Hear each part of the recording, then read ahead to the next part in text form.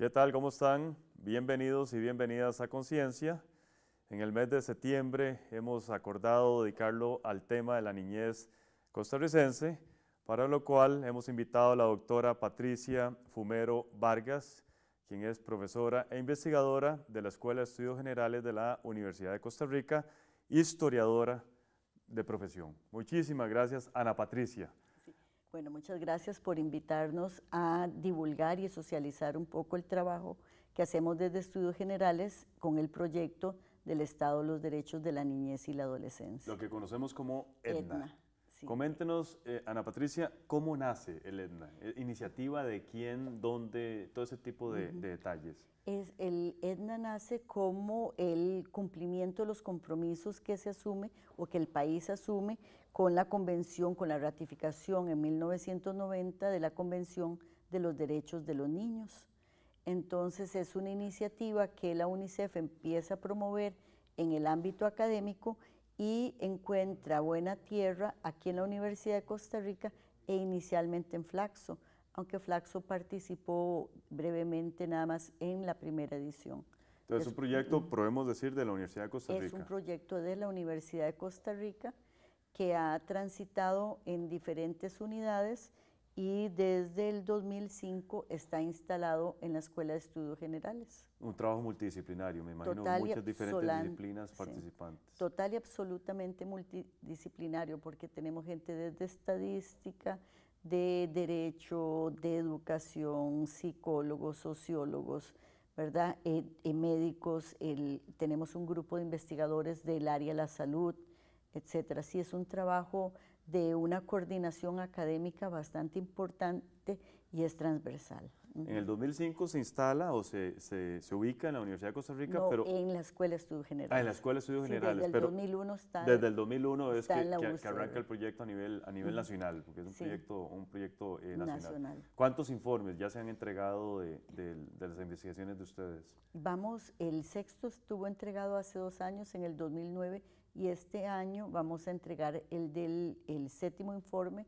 Cada dos años. Cada dos años se hace y este año está dedicado a la convención de los, los 25 años de, de, haberse firmado la Convención de los Derechos de los Niños, por lo que estamos haciendo un balance general de las políticas institucionales en el campo de la niñez y la adolescencia. Coméntenos de esa evolución de un informe al, al, al, otro. ¿Cuál era la situación en términos generales en el 2001 con respecto a lo que están encontrando ustedes recientemente? Eh, si vemos balance en términos generales, nosotros tenemos cinco áreas, que son las transformaciones institucionales, donde se analiza transformaciones institucionales que van desde a nivel legislativo, educativo, eh, salud, básicamente, y que en todo atravesado por los derechos de los niños, el cumplimiento de los derechos, ¿verdad?, de las convenciones que hemos hecho, eh, la cuestión de la, de la pobreza, o sea, la vulnerabilidad, o ya no hablamos de pobreza y exclusión, sino poblaciones en riesgo o, con vulnerabilidad, los aspectos demográficos y las incidencias que eso tiene en, en el ámbito eh, educativo, también de salud, laboral y el, cumplimiento del Estado en sí, porque una de las áreas que ha venido tomando fuerza es el derecho a la recreación y a los entornos seguros para la niñez, ¿verdad? Sobre todo si vemos las problemáticas contemporáneas en la región, o sea, en el Istmo Centroamericano, que nos incluye porque hemos visto los problemas también de los niños migrantes costarricenses hacia los Estados Unidos y los niños migrantes de otras áreas del Istmo o de la región, porque también hay eh, de fuera del Istmo Centroamericano en Costa Rica. En términos de derecho, Ana Patricia, ¿hemos, hemos mejorado? Sí, claro. Eh, ¿Del 2001? Sí, eh, se ve en cada uno de los etnas como hay, eh, hay una radiografía, ¿verdad? Una evaluación del cumplimiento de los derechos. Se, en el primer informe, que es del 2001, se establece que estamos en una deuda grandísima con los niños. Y vemos a partir de ahí cómo ha han ido institucionalizándose no solo a nivel de prácticas en, el Estado costarricense, sino en la cultura institucional y en el imaginario de los costarricenses, que los niños tienen derecho, que son ciudadanos que tienen derecho a tener una ciudadanía plena. Entonces, si uno ve ese cambio en positivo, eh, a lo largo de ya casi 15 años de etnas, ¿verdad? De, estos estados, estos informes que se hacen desde la Universidad de Costa Rica. No obstante, estamos aún en deuda, ¿verdad? Si uno ve, no hay entorno seguro para la niñez, eh, tenemos trabajo infantil en las calles, eh, la explotación sexual que hablábamos anteriormente, el problema de las drogas, la ludopatía que también ha sido tratada en, informes anteriores, vemos que no es un problema solo de las maquinitas tragamonedas en las pulperías, sino a nivel de, casas de clase media y en adelante con estos casinos virtuales que existen. Entonces sí vemos que hay eh, eh, todavía un saldo grande con la niñez. Vamos a ver, ¿quién, quién ¿Esos informes se le entregan a quién y quién se convierte en la institución rectora del tema de los derechos de la, de niñez en, Costa Rica a partir de los informes de ustedes? Hay, eh, hay varios procesos simultáneos. Nosotros trabajamos de la mano con la UNICEF, ¿verdad? Y tenemos un comité académico coordinador que establece cuáles son las prioridades temáticas del EDNA basándose en los ejes que describí anteriormente. A partir de ahí, se escogen los consultores que en este EDNA son total y absolutamente académicos, o sea, dentro de la eh, investigadores de la Universidad de Costa Rica y de la Universidad Nacional, ¿verdad? y eh, que eso yo creo que va a darle una perspectiva diferente a este EDNA y se coordina en otro nivel también con el Consejo Nacional de la Niñez y la Adolescencia, que es un consejo rector que, en el cual están enlazadas todas las instituciones del Estado que tienen que ver con los niños y los adolescentes. Entonces hay una representación. Dentro de nuestra coordinación siempre está eh, representado el presidente o la presidenta del PANI. Como acabamos de cambiar de gobierno, el anterior presidente eh, del PANI, que había delegado en la Secretaría General del Consejo Nacional, eh, no se ha incorporado por obvias razones, ¿verdad? Nosotros el acercamiento lo pensamos hacer ya para este mes o el otro, mientras se asentaba y se constituía nuevamente el Consejo, ¿verdad? Cambio de gobierno, hay unos meses... Hay que, dar ciertos meses ahí para, que todas las partes se Pero no es porque tengamos problemas ni nada, más bien la señora vicepresidenta es una de las más interesadas en todos estos temas infantiles y desde otros ámbitos ha promovido y gestionado, también apoyado el, informe. Tenemos que hacer una pausa, Patricia. Vamos a invitar a, su colega Patricia Delbo Gutiérrez para que nos hable de toda la parte de los componentes estadísticos de estos interesantes proyectos. Ya regresamos.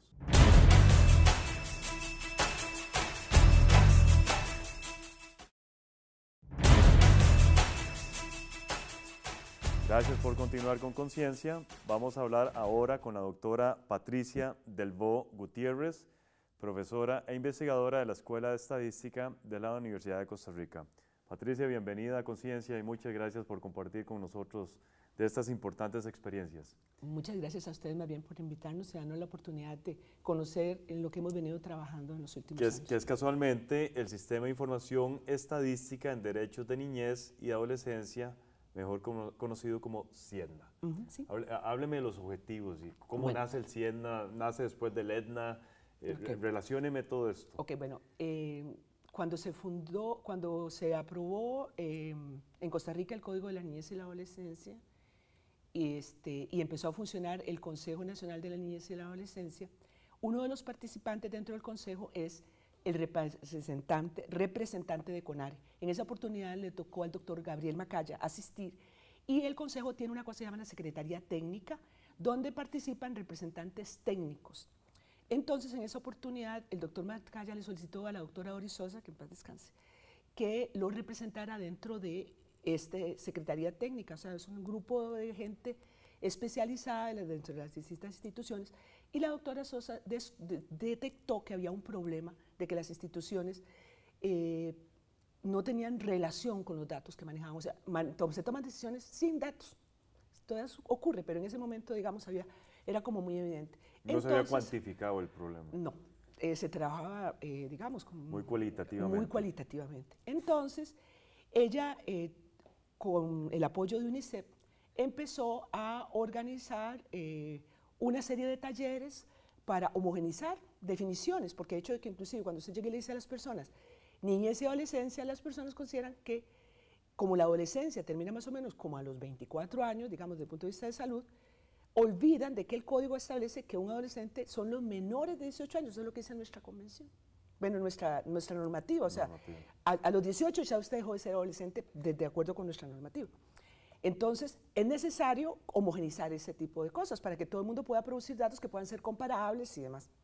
Entonces, realizar una serie de talleres, una serie de actividades, y así surgió cuando eh, se elaboró el primer EDNA, un capítulo que con el apoyo de UNICEF se pudo sistematizar este,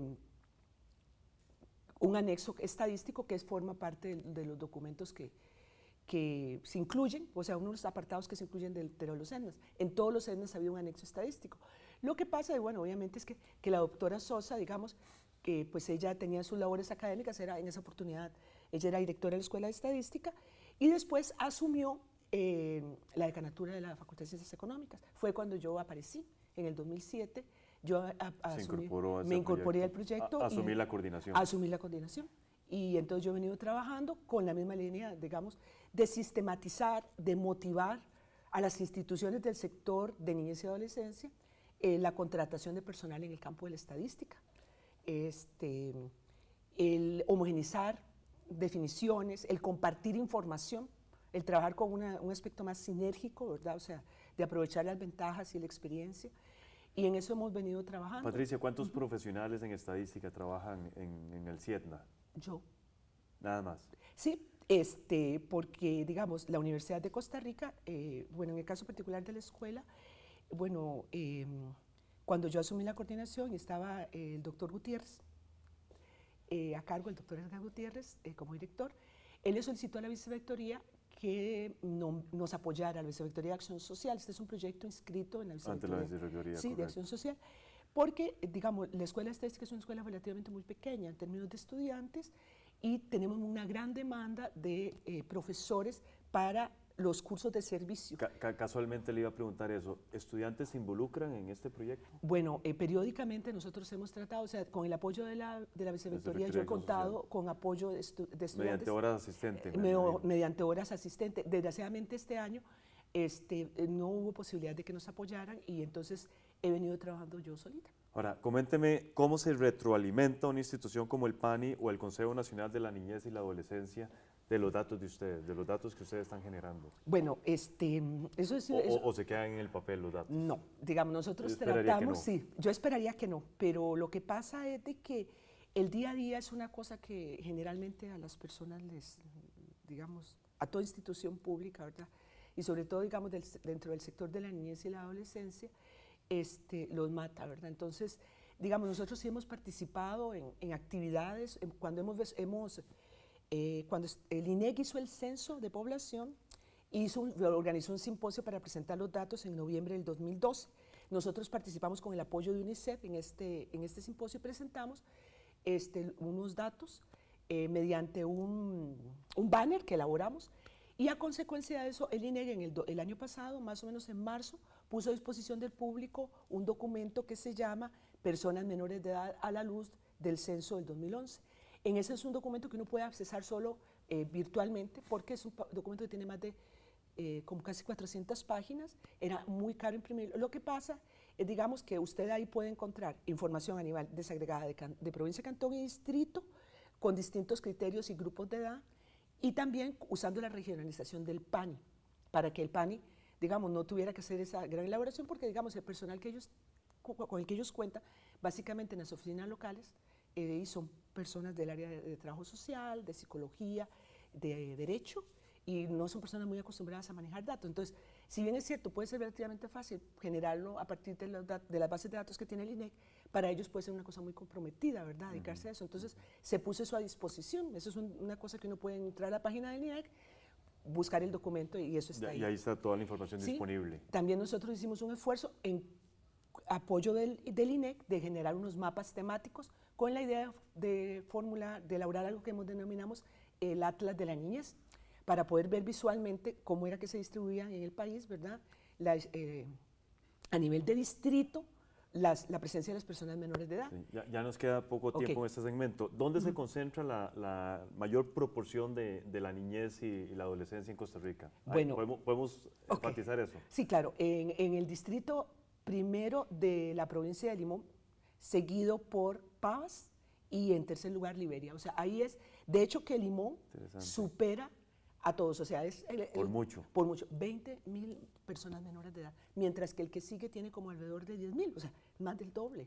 Pero este, a mí lo que me preocupa es de que yo siento que a pesar de que estos datos están disponibles, la, falta de expertise, digamos, de, la gente que toma decisiones, no orienta cómo poder usarlos, porque debería de uno de encauzar las baterías, hacer cosas en esas en esos distritos. Claro. Lamentablemente ya se nos fue el tiempo. Vamos a regresar con Ana Patricia Fumero para hablar propiamente de algunos ejes temáticos que nos interesaría desarrollar mucho en el resto del programa. Bueno, muy amable. Le, le agradecemos muchísimo, Patricia. Un placer, muchas gracias. Ya regresamos.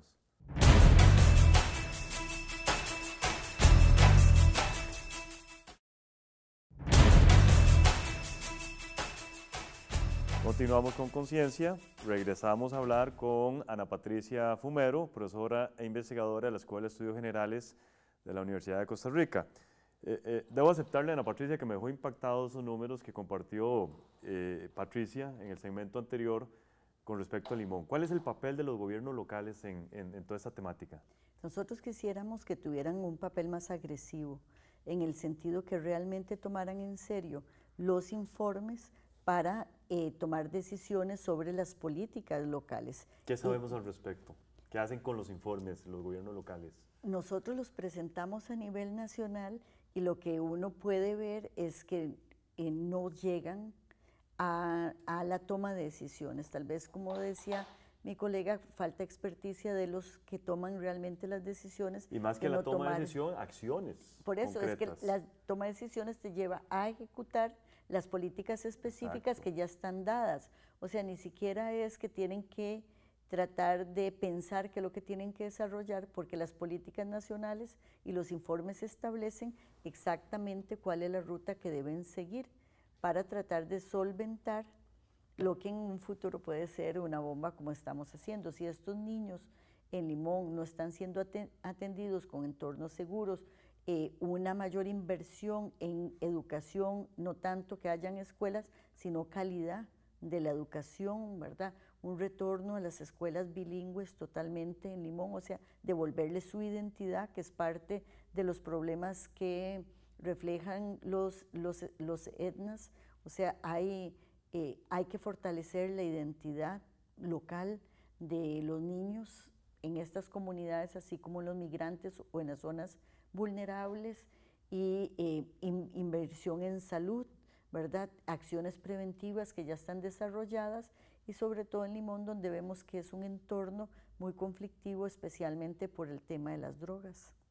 Y otros problemas ah, sociales que ya bien, bien conocemos. sí, estamos hablando de los niños, por eso pensaba en, en la vulnerabilidad y como un camino fácil es... Correcto.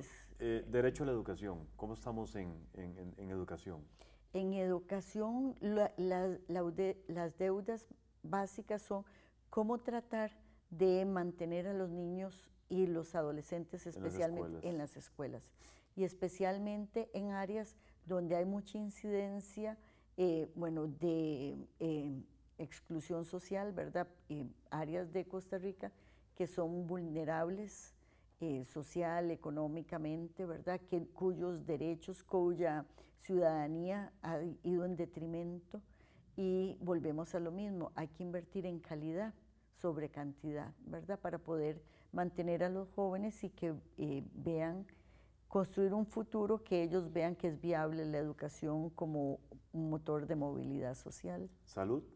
Salud, tenemos eh, una deuda muy grande, especialmente uno piensa en el hospital de niños, ¿verdad?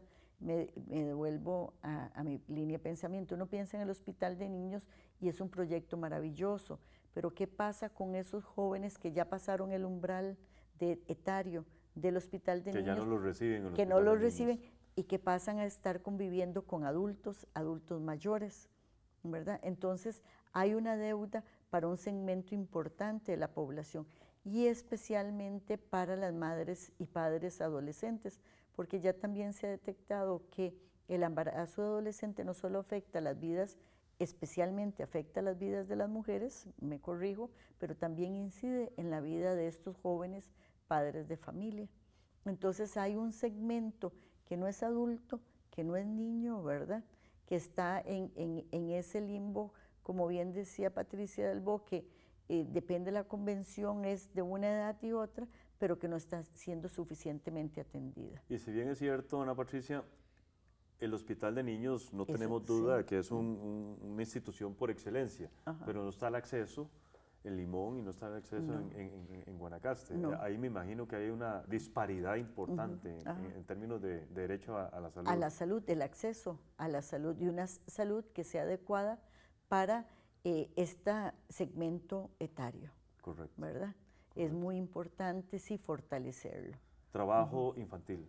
¿Es un problema el trabajo infantil? Es un problema que ha ido creciendo eh, precisamente. ¿Los informes de ustedes lo, lo van apuntando? Sí, no todos los informes toman el tema del trabajo infantil, porque como establecía al principio, los informes también son por áreas temáticas, tratando de que las políticas nacionales y las discusiones nacionales vayan abriendo caminos, ¿verdad? Y eso se, eh, se vaya a la discusión nacional pero sí muestran los dos informes que se han dado que el, trabajo infantil se ha incrementado, ¿verdad?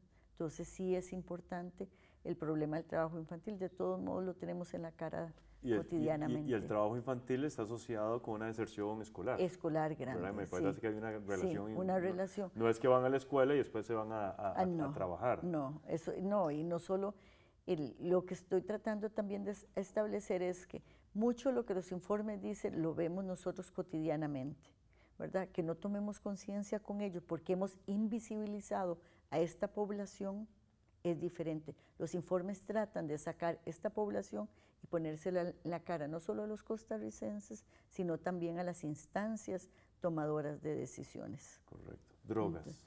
drogas. Coméntenos del problema de drogas. El problema de drogas es que hay en varios niveles porque si volvemos al trabajo infantil, nosotros tenemos, por ejemplo, en la zona sur de Costa Rica, donde los niños también son cargadores o como yo les llamo poquiteros de drogas que pasan de un país a otro, que llevan, son los mensajeros, ¿verdad? En muchos casos son mensajeros, pero también son consumidores. Entonces vemos que el problema de drogas no es solo un problema de consumo, ¿verdad? Sino también es un problema que ya se ha convertido en, en zonas en, un problema estructural también. Y hay una retribución económica en ese papel que cumplen estos niños. Bueno, uno no necesariamente, porque es lo mismo con el trabajo infantil, ¿verdad? Porque o son redes familiares, o si no, ya son eh, otro, tipo de redes económicas en los cuales ellos sí recibirían su retribución económica. En el último minuto, Patricia, eh, el financiamiento. El financiamiento. El financiamiento básicamente viene de dos lugares un financiamiento importante pero relativamente menor, que es el de la UNICEF.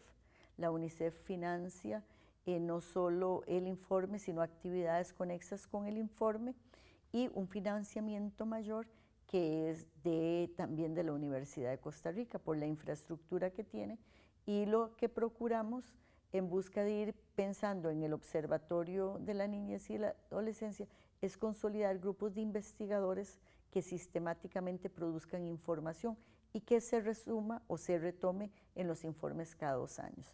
Ahí hay que seguir convenciendo a las autoridades universitarias de la importancia de crear, eh, de dar ese apoyo para la investigación. Yo creo que no hay duda de que es extremadamente importante lo que ustedes eh, están haciendo y hay que apoyarlos para que cada dos años tengamos informes y más importante, que se ejecute.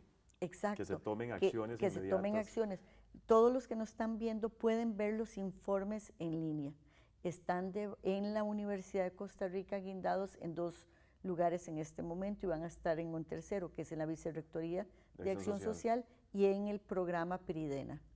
Entonces, o también lo pueden googlear, ¿verdad? Primer informe eh, del eh, de, primer estado de los derechos de la niñez, segundo, tercero, cuarto, quinto, y el séptimo, cuando se presente, quienes vayan a la presentación se va a regalar en una llave malla completo, no se va a volver a imprimir. El costo de impresión es, sumamente alto. Es eh, enemigo del ambiente. Ajá, Muchísimas gracias, Ana Patricia. Bueno, gracias. muchos más éxitos en esta importante tarea. Gracias a todas y todos, todos ustedes. Continúen con la programación de Canal UCR.